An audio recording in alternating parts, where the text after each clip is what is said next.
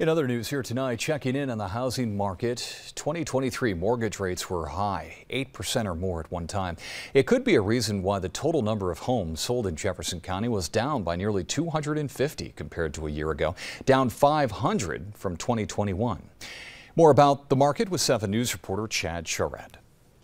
It was an issue in 2023, and it's an issue now. Current mortgage rates on a 30 year fixed loan are around 7%.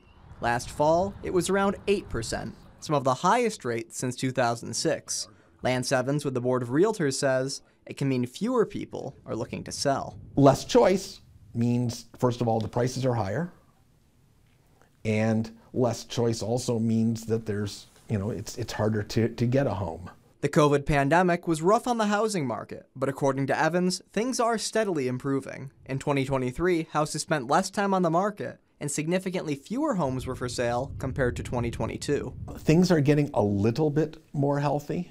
It's still a, it's still a seller's market. It's not a buyer's market. It's, there's still more buyers than there are sellers. One thing that isn't improving for buyers is the average price of a home. Since 2020, property costs have jumped significantly each year. In 2023, the average cost of a single family home was nearly $200,000 in our area.